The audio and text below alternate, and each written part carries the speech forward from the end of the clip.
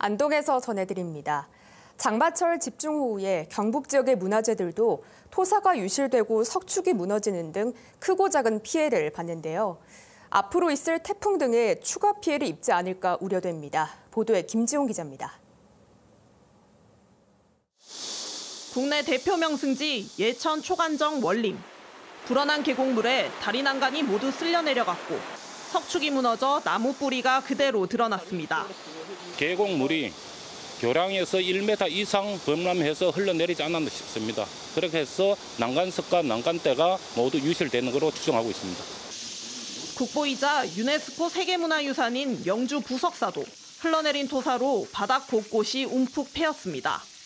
지난 집중호우에 국가지정 24곳, 도지정 27곳 등 경북의 문화재 51곳이 피해를 봤습니다. 특히 산사태와 토사 유출이 많았던 이번 비의 특성상 경북 북부 지역 문화재에 피해가 집중됐습니다. 다행스럽게 문화재 직접 피해는 없었고 주변에 피해가 좀 많았습니다. 시군과 함께 국비 확보에 주력하고 어, 신속 복구가 되도록 노력하겠습니다. 현재 석축을 다시 쌓고 배수로를 급히 내는 등 응급 복구를 마친 상황. 하지만 문화재마다 복구를 위한 절차가 달라 완전한 복구까지는 최소한 반년 이상이 걸릴 것으로 추정됩니다. 이번 합동 조사를 통해서 복구 계획을 수립하고 향후 그 발생할 수 있는 태풍 피해나 추가 풍수해로 인해 추가 훼손이 발생하지 않도록 최선의 노력을 다하겠습니다.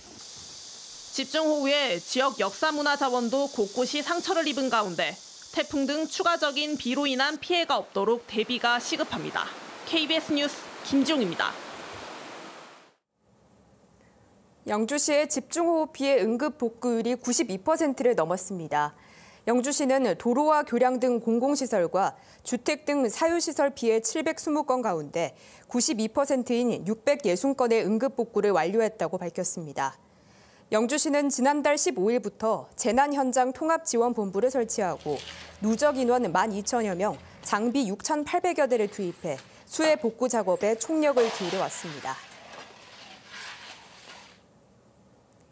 청송군이 2023년 전국 지방자치단체 일자리 대상에서 2년 연속 일자리 공시제 부분 우수상을 수상했습니다.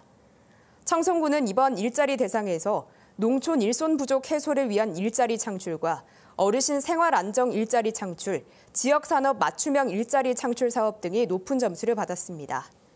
또 고용 지표 가운데 취업자 수는 전년 대비 1.8% 증가했고 고용률은 85%로 경북 1위를 달성했습니다. 지금까지 안동이었습니다.